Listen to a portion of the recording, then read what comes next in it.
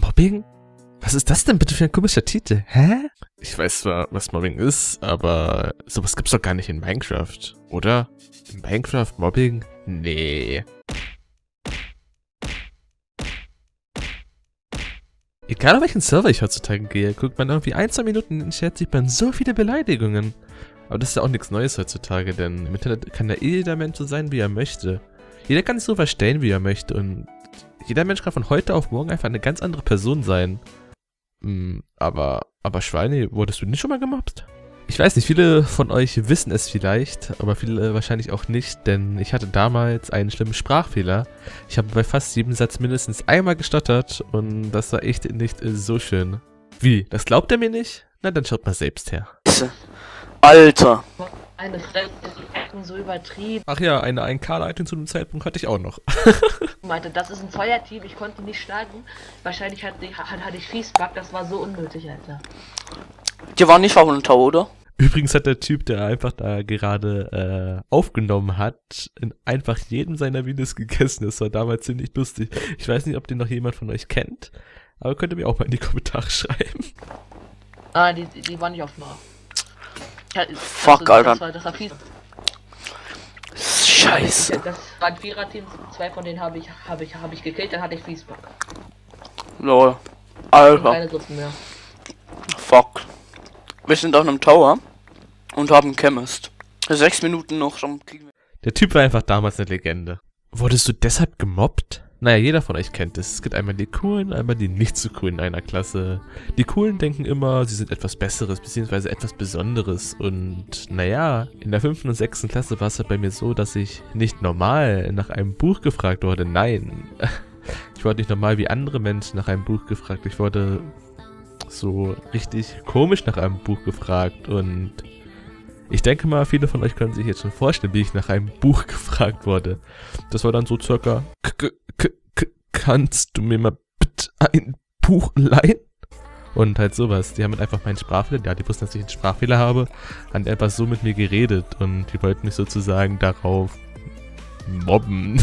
Das kann man zwar nicht so sagen, aber ähm, ja, auf jeden Fall hat mich sowas damals ähm, ziemlich sehr gekränkt. Was habe ich also dagegen unternommen? Weil jetzt habe ich, glaube ich, diesen Sprachfehler gar nicht mehr. Oder hört ihr noch, dass ich irgendwie stotter so ein bisschen? Vielleicht stotter ich noch ein bisschen manchmal. Oder ich rede manchmal so komische Sätze, die eigentlich gar keinen Sinn machen.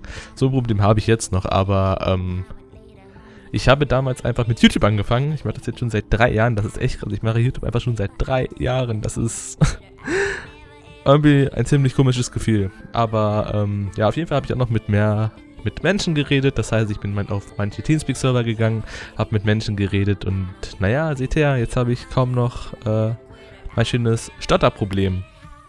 Und ähm, naja, die meisten Menschen denken ja immer oder beziehungsweise sagen, dass das Internet ziemlich schlecht ist und mir hat das Internet in solchen Sachen echt geholfen.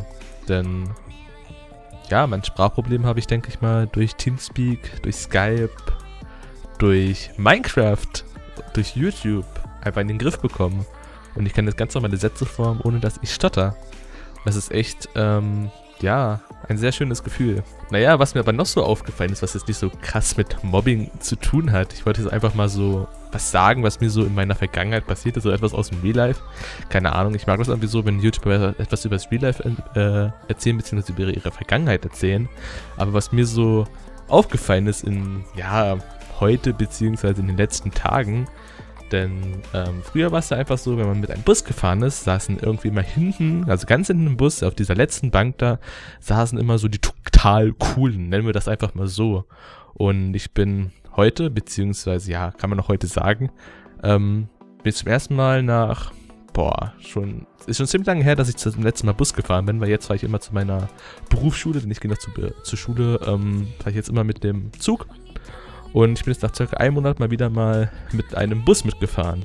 Und jetzt war es einfach so, dass ganz hinten im Bus die kleinen Grundschüler saßen, was ich irgendwie ziemlich cool fand. Weil früher war es einfach so, ganz hinten weiß man, wenn da, wer da hinten sitzt, das sind die richtig coolen. Die sind einfach genial, wenn man da hinten sitzt. Dann bist du einfach einer von den richtig krassen. Nein, aber irgendwie war das echt früher immer so, dass wenn man hinten saß, da war man einer von den coolen, da hat man sich immer richtig cool gefühlt. Und naja, auf jeden Fall war ich dann so auf dem Weg nach Hause und was mir dann passiert ist, das war echt, naja, nicht so cool. Auf jeden Fall ist es halt so, wenn ich so früher so in der 5., 6. Klasse nach Hause gegangen bin, wenn mir da so irgendwie ein Zehnklässler bzw. eine ältere Person entgegengekommen ist, dann bin ich meistens einfach immer die Straßenseite gewechselt, weil ich einfach nicht wollte, dass diese Person mich anguckt oder irgendwas mit mir macht oder ich war so, keine Ahnung. Ja, das so ein bisschen komisch. Und irgendwie ist es heute so, dass diese Schüler einfach denken, sie sind die krassesten Menschen der Welt. Ich weiß nicht, ich bin so einfach nach Hause gegangen, dann kamen da so drei, vier Schüler mir entgegen, waren irgendwie, keine Ahnung, 12, 13 Jahre. Und die hatten einfach so eine breite Brust gegenüber mir, beziehungsweise die sind einfach so, so richtig, als wären sie die Obergangster mir entgegengekommen. Das, die hatten einfach null Respekt. Ohne Spaß, früher bin ich einfach immer die Straße, habe ich immer die Straßenseite gewechselt und die kommen mir da so entgegen und denken, sie wären die oberkrassen Menschen. Naja, auf jeden Fall haben die mich dann blöd angequatscht und ich meinte so, was das soll, was macht ihr hier und bla bla bla und naja, nach irgendwie 10 Sekunden sind die auch wieder weitergegangen. Aber es ist einfach so, der hat einfach heute keinen Respekt mehr, das ist unglaublich. Und naja, boah, das Video ist so seriös, man macht doch mal ein paar mehr Kombos da rein. Auf geht's.